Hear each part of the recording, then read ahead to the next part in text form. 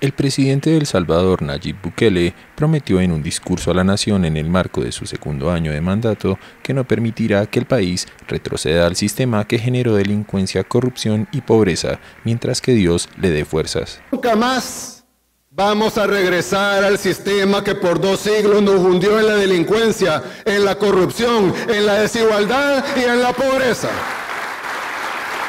El mandatario que aseguró que El Salvador ha entrado en una nueva etapa y que debe vencer al aparato ideológico de antiguos gobiernos no entró en detalles ni explicó si esto implica buscar la reelección.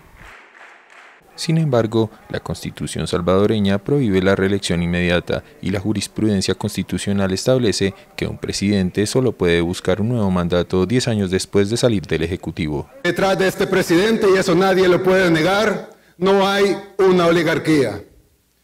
No hay juntas militares y mucho menos una comandancia guerrillera dándole órdenes y diciéndole lo que tiene que hacer, como todos los presidentes anteriores. Bukele al criticar las administraciones anteriores dijo que el país tuvo una democracia falsa, a pesar de que ese mismo sistema fue el que le permitió llegar al Ejecutivo en junio de 2019.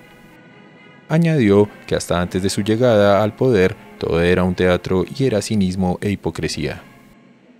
De acuerdo con cifras del gobierno, El Salvador registra una sensible baja en los homicidios y atribuye esto a un plan de control territorial cuyo contenido no se conoce.